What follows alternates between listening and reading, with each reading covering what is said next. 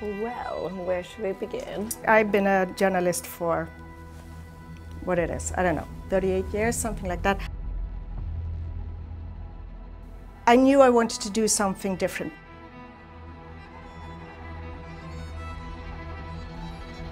I wanted to disrupt this industry. I wanted to show what Scandinavia and the Nordics can offer.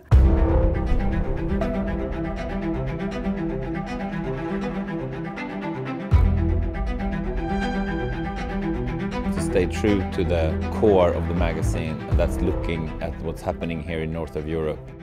We are so good at sustainability.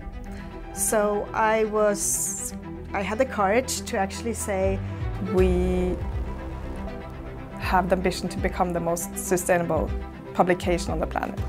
It's something you have to learn. You have to think green before convenience, always. Not writing just about it, because that's what most uh, journalists or publications does today. It's actually to act in it, to work in it. Me being able to stare at Nikolai Coster-Waldau's face for a whole hour, that was a pretty, pretty good moment. so I started to uh, look into things like distribution, logistic, uh, packaging. Okay, I feel like an undercover agent when I'm walking around with this magazine and I know I'm the only one who ever saw it, so it's, it's quite funny. Music is a part of our storytelling, so for each issue I put together a playlist. All those kind of things, the team. Yeah, I want to know that I'm the best. It's hard, I only have one person to compare me to.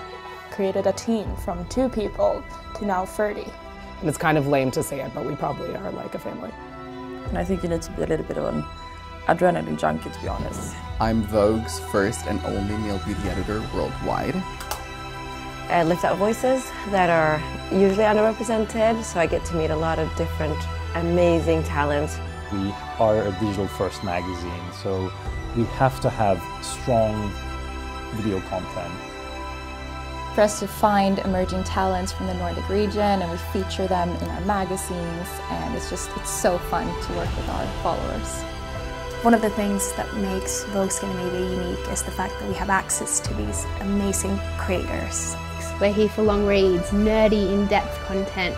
We're here to shine a light on the Nordics. And that is worth paying for, trust me. Our contribution to a better fashion world, but also a better planet in the way we can.